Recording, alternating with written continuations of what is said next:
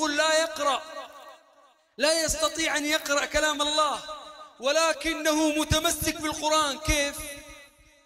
يذهب عند إنسان أو يفك المذياع ويسمع كلام الله. الله أكبر. الله عز وجل يقول عن هؤلاء وإذا قرئ القرآن وإذا قرئ القرآن فاستمعوا له وأنصتوا لعلكم ترحمون.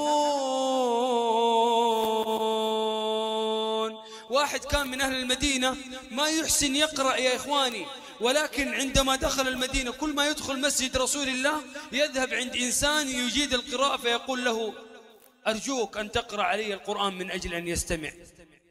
ففي يوم من الأيام دخل هذا الرجل ومعاه المصحف فوجد رجل شاب يقرأ كلام الله عز وجل. فجلس بجانبه. قال أريد منك أن تقرأ لي شيئا من كلام الله عز وجل من أجل أن أسمع. فقام هذا الشاب يقرأ يقرأ وذاك يسمع. الذي لا يجيد القراءة يقرأ يقرأ حتى وصلوا عند آية فيها سجدة. فسجد القارئ وسجد المستمع. فقام القارئ ولم يقم المستمع. وإذا قرئ القرآن فاستمعوا له وأنصتوا. لعلكم ترحمون.